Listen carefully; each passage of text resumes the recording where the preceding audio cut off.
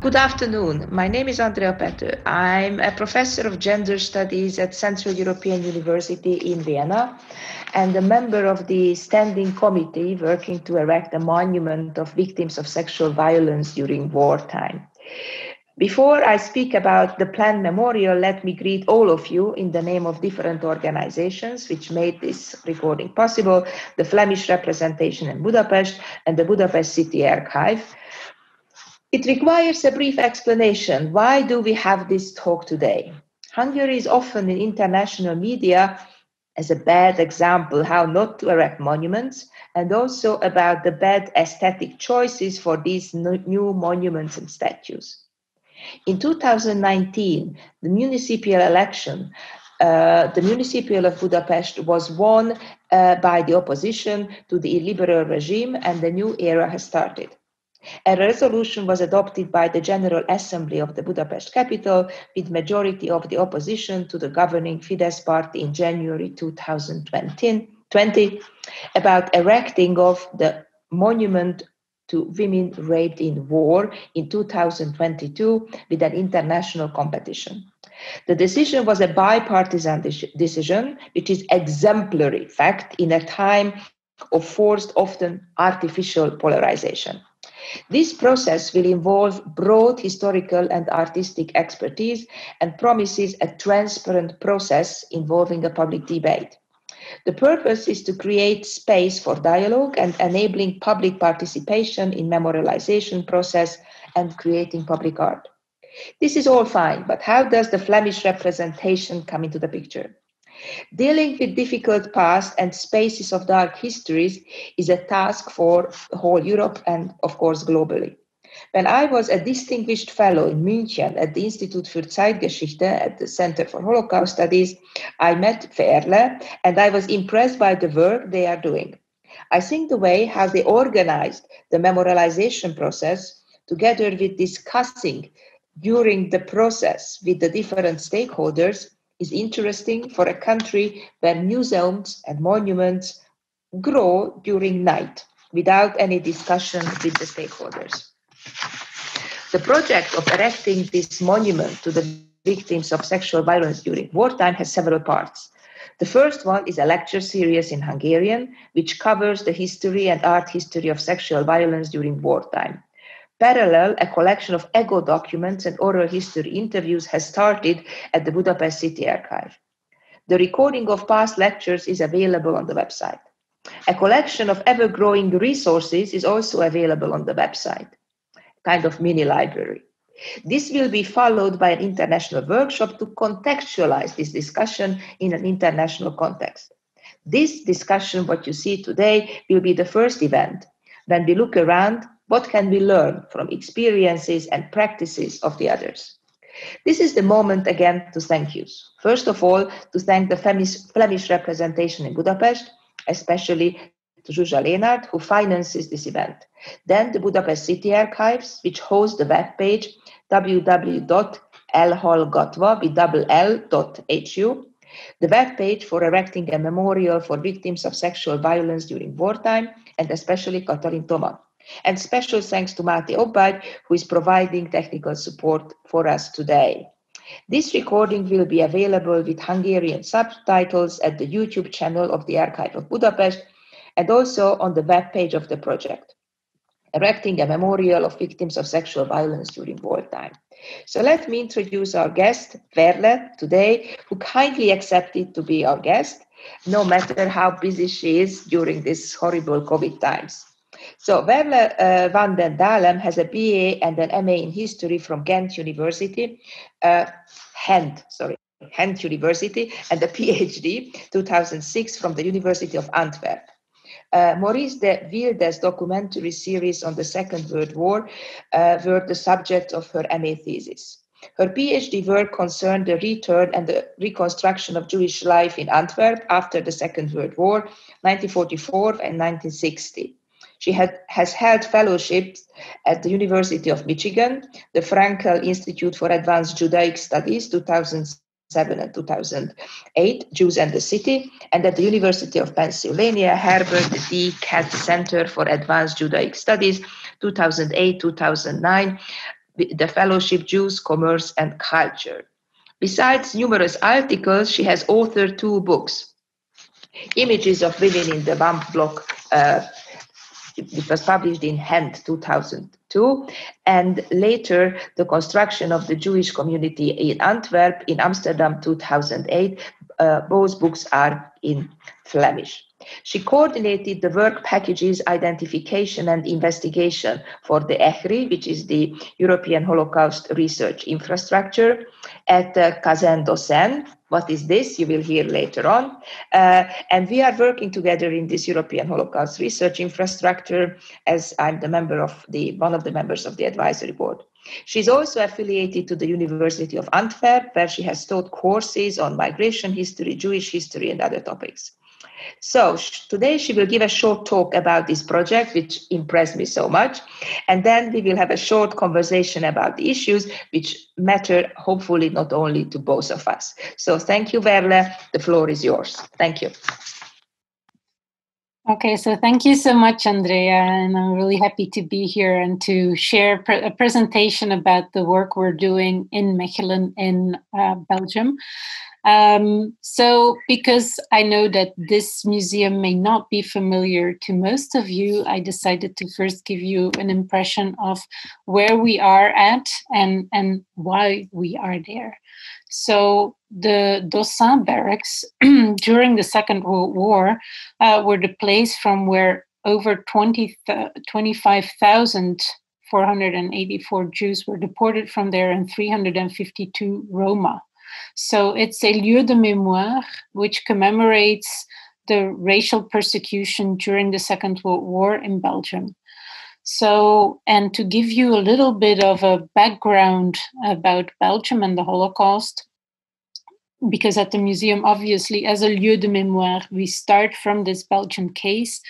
Um, we had a military government during the Second World War, a Militärverwaltung, and that comprised Belgium and the north of France. It was our second occupation after World War One. We had World War Two, uh, unlike, for example, our uh, northern neighbors in the Netherlands.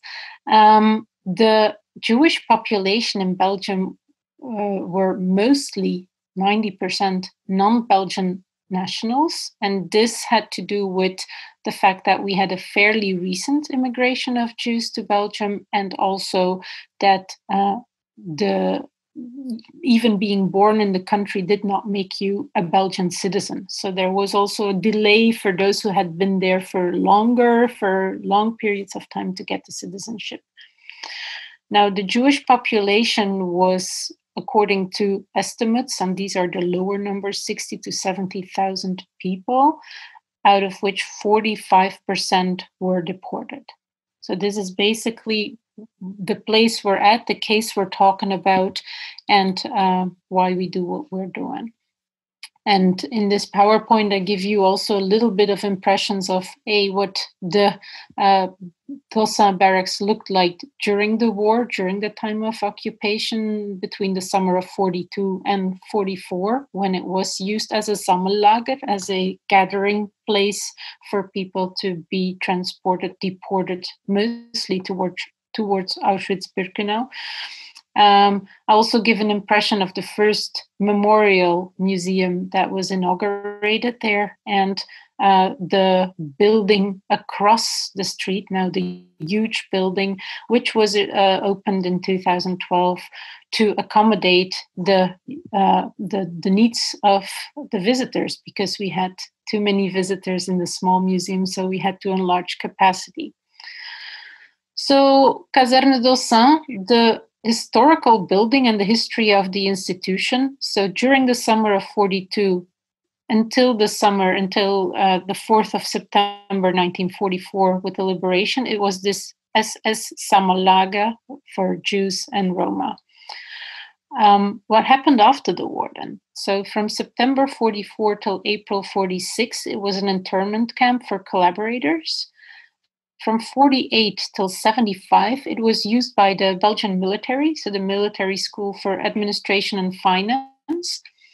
And the military left the building after 75. In 77, it became property of the city of Mechelen, and um, people did not really know what to do with the building. Should it be demolished? Should it be refurbished? Um, it was not quite clear.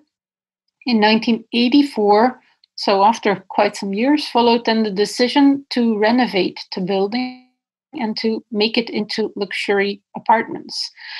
Um, that was at the same time the moment where uh, the Jewish community uh, started um, being active in order to not have the full building into apartments, but also to reserve a space in this historical building for commemoration, for a memorial. And so there was uh, uh, one of the apartments was bought, and gradually, uh, basically, the front wing of the historical building became the property of what is now Kazerne Dossin, and before this, uh, the Jewish Museum of, on Deportation and Resistance. This uh, first museum was inaugurated in 1995. Uh, so 50 years after the liberation of the of the camps. Uh, and the opening for the public was one year later in 96. Um, I give you some impressions here on uh, the state of the building. Uh, haven't been occupied by the army and and uh, after all these years i do not need to tell you that it did not look like what it looked like during the Second World War when it was a this gathering camp. So um, the, the the walls and the, the the building itself is the historical building, but on the inside there was little that remained from to nothing that remained from the wartime period. So the idea was to make a memorial, um, and from '94 till '96. Uh, Maxime Steinberg and Laurence Schram started gathering uh, information and making copies to open this memorial, but it actually became larger. And it was not just a memorial, it also became a museum with a clear educational mission to kind of um, bring this message, bring this history to primarily uh, school children, uh, youngsters in uh, um, secondary school, high school. So, um, and gradually because of all this looking for information for a museum and a memorial, uh, the survivors or those who held historical documents started donating them to the to this project. And it became not only a memorial and a museum it also became a documentation center. And then there was more and more research that was being done on this case. And so right now we're even also a research center so um, the visitors, when this museum opened in '96, which was a small museum, because since it was the building was divided in apartments, the museum was one apartment basically, and the the basement. So. Um, so, but the, the, the visitors came in large numbers. We had so many uh, high school students coming that we uh, reached really max capacity the 90s were also the the time the second half of the 90s where the extreme right in Flanders, the Vlaams Blok, uh, uh, gained electoral importance. And so uh, Patrick Dewael suggested to invest into a Flemish Holocaust museum in 2000. And that led to an enlargement of the project of the Jewish Museum on Deportation and Resistance to what is currently Kazerne Dossin, and with the enlarged capacity and the big building to accommodate the visitors.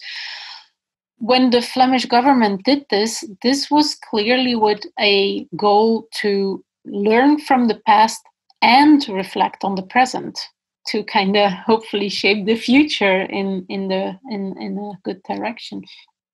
And so in 2012 in december Kazerne Dossin opened the new permanent exhibition in the new building across from the historical site and the old museum space became the memorial to for the commemoration and for honoring uh, the, the victims who had been deported, who had been victim of racial persecution during the Second World War. And we started, uh, we continued all this time to um, document this Belgian case of the Holocaust in our documentation and research center, uh, which we uh, for which we have a reading room now. We have a catalog online, a beeldbank. We have uh, million uh, over one and a half million 1.6 million of digitized documents that are accessible for researchers for families who are looking into the history of their loved ones uh, and so on and so forth. And in the museum uh, we make the link with human rights and the holocaust because when we became Kazerne Dossin. The name was Kazerne Dossin Memorial Museum and Documentation Center on Holocaust and Human Rights. So it really wanted to make that bridge uh, from the historical past to human rights in general. It wanted to also make that uh, bridge between past, present, and future. Uh, also with information and with the programs that we're bringing. So when one visits the memorial in in the historical building, it's all about the victims and commemorating and providing a, a, a, a serene spot for mourning and for contemplation and for um, thinking about what happened back then. Um, but in the museum, uh, we make the link with other human rights violations and our educational programs are also there to enhance the respect of human rights and, and install that in, in, into our visitors' experiences. So when you see uh, in this photo, uh, on the one hand, a commemoration wall with the victims of the Shoah, of, of all those that have been deported from the Dossin barracks, you also see that we make the link in every floor of our um, museum with human rights violations in other places and at other times. Um, so that people reflect about this, that they reflect about uh, not only other genocides, but also about discrimination, exclusion, migration, and all the challenges that come with this. We have a very thorough education uh, uh, um, offer that we offer not only to high school students, as we always did, also in the predecessor of Kazerne Dossin, uh, but also towards um, um, people who want to learn something during their free time, both adults and youngsters. So we even have a uh, family program, visits for families with young children, that we uh, want to make possible so that um, everybody can come and learn about the past and make this connection with human rights today and tomorrow. And one of the uh, special groups that we also um, um, have as as part of our uh, adult learners uh, is uh, the police forces. We also have programs for magistrates. And uh, the program Connecting Law and Memory was one of the programs that we did um, specifically for making these connections between uh, current police forces, um, magistrates, and others. Uh, what can be learned from the Holocaust how can things be learned and uh, how do we reflect about how we act today uh, and tomorrow. And uh, there's on the one hand disconnecting law and memory but we also have holocaust police and uh, um, uh, and memory program uh, and there this hpm program brings policemen into the museum to um, visit the museum to learn what police forces did uh, during the Second World War, during the racial persecution. But then in the afternoon, once they've learned the mechanisms of what happened during the Second World War, they will reflect on real time cases from the police experiences today on how they can deal with the challenges that they are faced with today in their daily uh, professional life. So basically, as a memorial, a museum, and a research center, we want to be a civic connector. We want to connect uh, the past, the history with society today, and uh, and and make that happen. And so, for example, the next upcoming temporary exhibition that we are uh, going to have uh, starting this December is called hashtag fake images, uh, unmask the danger of stereotypes. And this is an exhibition with both uh, the historical part of why we are doing what we're doing by developing um, the history of anti Semitism, uh, mostly focusing on the end of the 19th century until the Second World War, Second World War included. How that anti Semitic stereotypes, how they developed, how this uh, gradually led to um, the Jewish population being stigmatized and eventually led to a genocide, um, then uh, we want to uh, make the we want to explain to the audiences how how is it that you're that we are uh, so uh, sensible to, to to stereotypes? How how do we how how is how is it possible that we think in this kind of um, categories and and how how can we actually be more aware of this and uh, react to it so that it does not uh, um, have uh, the same effect as what we've seen where it went wrong in the past. Uh, so we really want to bridge uh, the historical knowledge, the mechanisms that we can see there, and bring them in uh, in today's world, uh, so that people can learn from the past, that they can understand how things happened, but that it also helps people to um, discover mechanisms and be more aware of things going on today. So I think that gives in a nutshell an idea of where we are and why we do what we do. Thank you very much. Uh, so, my first question is uh, uh, about the relationship with the Jewish community, because you pointed out that they were those who were actually initiating this uh, kind of memorialization process. So, if you can give some insights about this process, how it happened, and who were the main stakeholders, and uh, uh, what, how, how this actually happened. Okay, so um, the Jewish community is and that, that speaks for itself very very involved and, and, and very concerned about how this commemoration and uh, all our activities how that takes place. Uh, so there have been commemorative events held in front of the building uh, since the post-war period. So an annual pilgrimage, if you if you can call it like this, uh, which still takes place until today.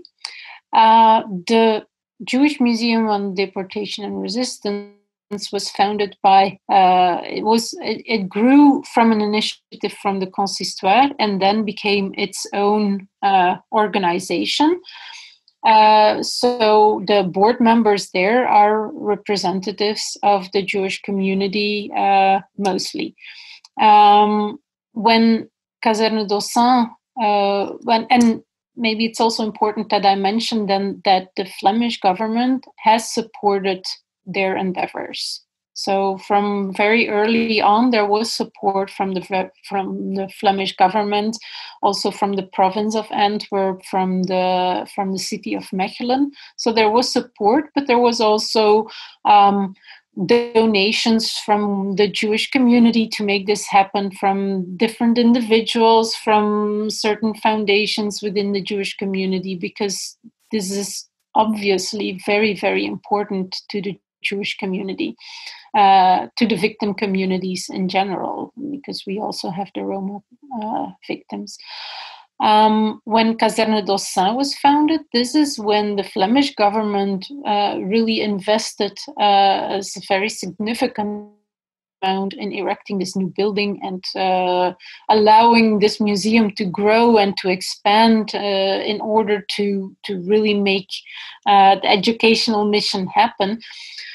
Uh, at that time, uh, the uh, board of Kazerne Dossin has been uh, uh, put together with uh, 15 members, out of which there were um, seven members who were representatives from this former museum, from the board of the Jewish Museum.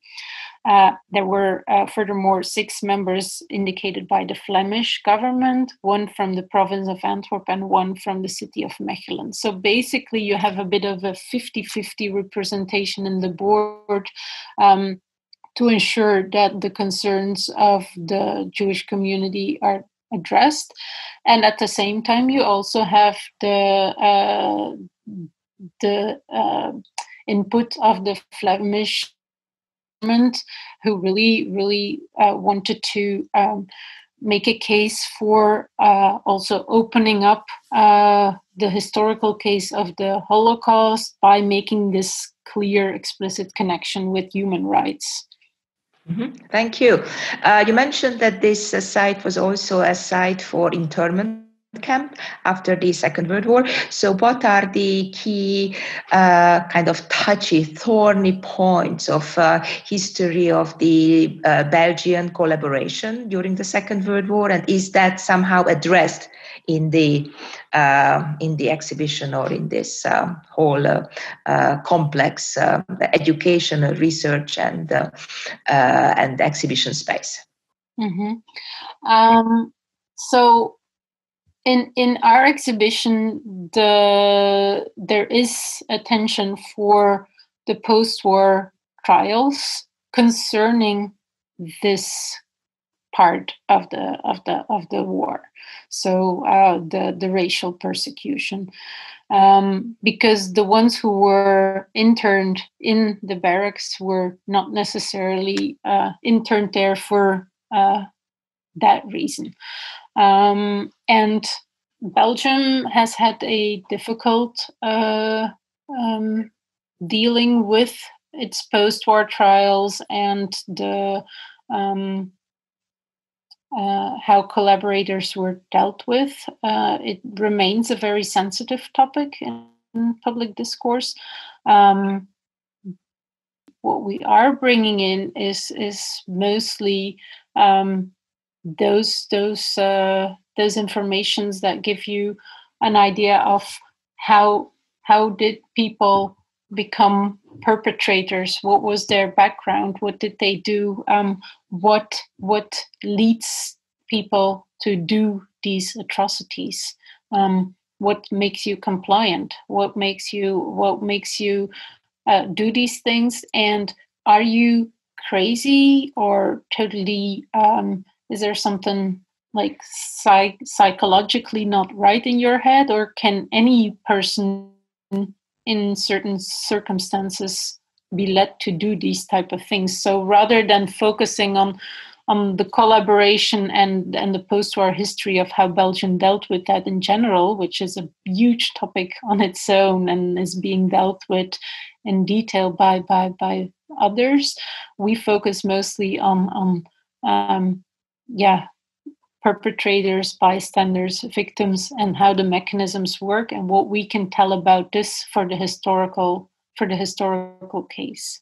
So, what uh, I mean, this is a fantastic building, and uh, uh, what is the role of art and artists? Are you collaborating with artists or local artists or international artists when you think about how to make the messages of the past accessible for the present generation, which is very different than uh, the previous generation. Yeah, so um, uh, we we do have uh, art in in the in Kazerne Dossin. Uh, it was part also of the setup. So we have uh, the sculptures of uh, Philippe Aguirre. one of them is in the memorial building, and there was one image in in the PowerPoint about uh, a, a, statue, a, a, sculpture he made about the roundups in um, in Antwerp in the summer of '42. Um, and he has another um, sculpture in the museum of a man standing uh, next to a wall, uh, facing a wall. Um, so, and then we have uh, a couple of other sculptures, but all in other than that, in the permanent exhibition, it's mostly about the historical uh, stories but during our temporary exhibitions we can bring in other other artworks uh, other um, evocations of um, human rights or human rights violations. So we've had several um, temporary exhibitions that involved art. We had uh, um, an exhibition i'd have to um, look up the, the names so that I don't make any any mistakes there. We've had uh, Daniel Hernandez, uh, uh, which was uh, on Guatemala uh, with with the I can show it like so maybe. Um, I don't know whether that helps to see it. Uh, what what you do when you see human rights violations, you see, you hear. so you don't want you you don't don't you don't say something you don't see it you you don't hear it but you actually should be should be shouting it out. Um, we also had um, uh, an exhibition a temporary exhibition on the art of war um, in which we brought in etches from uh, uh, various artists but including otto dix and uh, and, and, and Grosz, uh, evoking the horrors of the First World War. Um, and we had people uh, react on that. Change makers of today uh, reacted on those works and what they did, what that, how that felt to them. So that was very interesting as well. We also um, hosted the exhibition that our colleagues at Memorial de la Shoah made on uh, Holocaust and comic strips. Uh, so another type of art to bring in uh, the the past, bring in the Holocaust, but also other genocides and other um, places. So so that has been there as well. So yes, there's there's various ways to kind of reach out and to um, to to make that connection and i'm sure mm, mm, other temporary exhibitions will follow along those lines my last question is about the general political climate, because you have uh, written a book about Vlaams Blok, and uh, so this particular uh, far right party. And I was wondering how this, and you also mentioned that the museum was a kind of reaction to this uh, surprising uh, victory of the uh, Vlaams Blok at a certain point in the Belgian history. So, you, as an expert of this party, and also as a person who is running this very impressive museum. So, how can you uh, uh, characterize uh, the relationship uh, between this uh, uh, rise of the extreme right and the museum. So, do you think that this museum is really helpful in uh, fighting and changing people's mind, or is this just a reaction, or is it a creative response, or uh, so? How do you see this um, the role of this um, Kazerne Dossin in this present political climate in Belgium? Mm-hmm. Well, um, needless to say, we we definitely hope to uh, be an advocate for um, mutual understanding, for dialogue, and for inclusivity. And so we hope to contribute to a world without racism, without discrimination. And in that sense, we definitely are are on the barricades to to make that happen in today's world. And whether whether we make a difference or not um, the thing uh, that so many uh, school groups come and visit us that we have so many people who during their free time come and visit us and see these things uh, makes us definitely hopeful that something will stay with them and that that are uh, we're not going to tell people what to do. What we hope is that people, by seeing what we're doing, will start making their own reflections and make up their own mind. Because if then um, attitudes change, it will be a change that people have made themselves. And we had, uh, for the police program that I mentioned, we had a, a research being carried out by the VUB, the Free University of Brussels, uh, to measure whether we had impact with what we were doing in the program for the police forces. And so there uh, we noticed that um, there was impact, there was significant impact. So coming to the museum, following the the the whole program, including the visit to the permanent exhibition, the historical part, dealing with uh, the use cases, uh, the challenges of today, um, that it made it that it made a difference. That people uh, into their daily lives, into their professional practice, which is really reassuring and very very nice to hear and to see. Uh, so so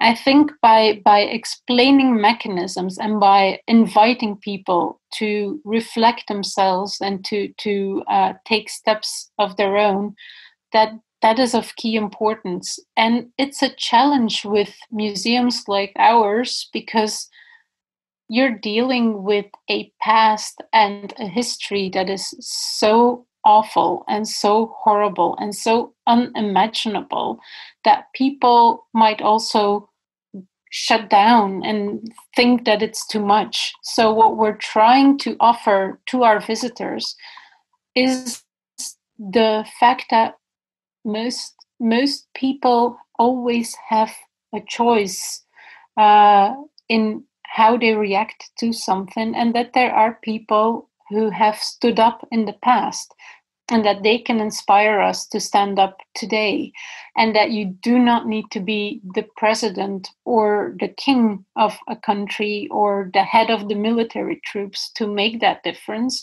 that each and every one of us can make that difference within their own area of possibilities.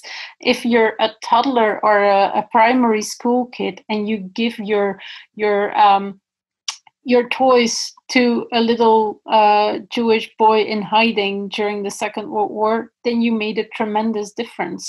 Uh, so, so you can you can you can relate to that in every in every possible way.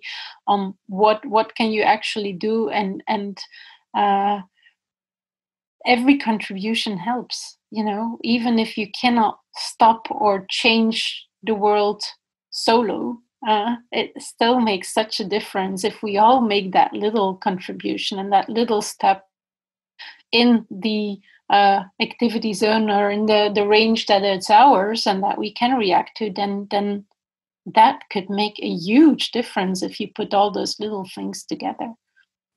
Thank you very much, Veerle. This was a pleasure, as always, to talk to you.